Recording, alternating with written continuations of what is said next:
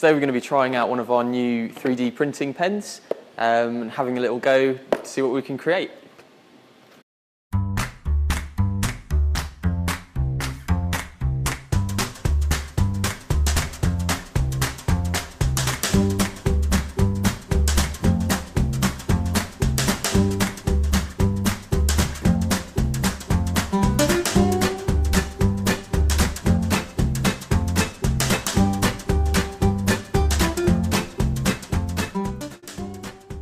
So here's our finished model that we've created, the Arc de Triomphe.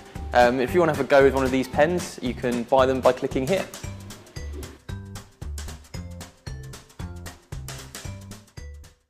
If you enjoyed this video, please like, comment and subscribe. Also, come follow us on Facebook, Twitter and Instagram.